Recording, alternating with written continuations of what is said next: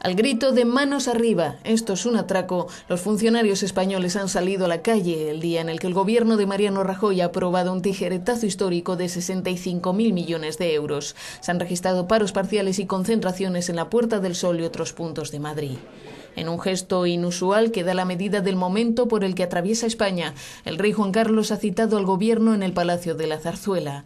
Allá ha pedido al Ejecutivo que nadie quede excluido cuando llegue la recuperación económica, haciendo referencia expresa a los jóvenes y parados.